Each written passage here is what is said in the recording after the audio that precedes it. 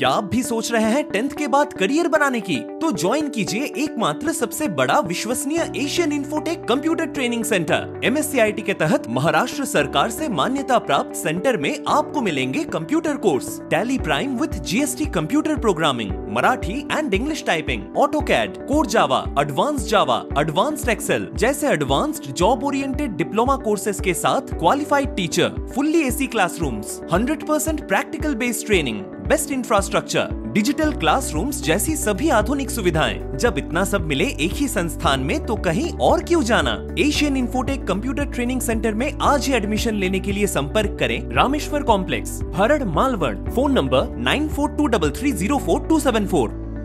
Amboli पर्यटन गजबजले. रविवारची सुट्टी साधून पर्यटक मोठ्या संख्येनं वर्षा सहलीसाठी आले होते. त्यामुळे आंबोली धबधबा आणि कावळेसात पॉइंट चांगलाच गजबजलेला पाहायला मिळाला. आंबोली मुख्य धबधबा प्रवाहित झाला नसला तरीही पर्यटकांचा ओघ मात्र सुरूच आहे. विकेंडचा आनंद लुटण्यासाठी मोठ्या संख्येने पर्यटक आंबोलीत दाखल होत आहेत. त्यामुळे रविवारी आंबोलीत तुफान गर्दी झाली.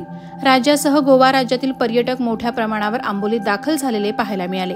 यामुळे रस्त्याच्या कडेला वाहतुकीची कोंडी झाली होती.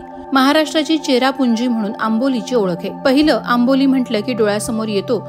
तो म्हणजे तेथील ओसंडून वाहणारा धबधबा.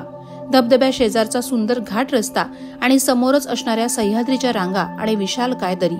या दरीमुळे दाट धुके पाहायला मिळत आहे सिंधुदुर्ग जिल्ह्यातील हिल स्टेशन म्हणून या आंबोलीची ओळख आहे.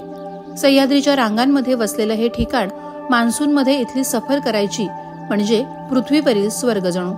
गारवारा ओले चिंब पाने फुले झाडे दरीतून अंगावर येणाऱ्या पावसाच्या सरी दाट धुके असं सर्व या ठिकाणी पाहायला मिळतं. परराज्यातून येणाऱ्या पर्यटकांमुळे येथील स्थानिक लोकांना मोठा रोजगार मिळाला आहे.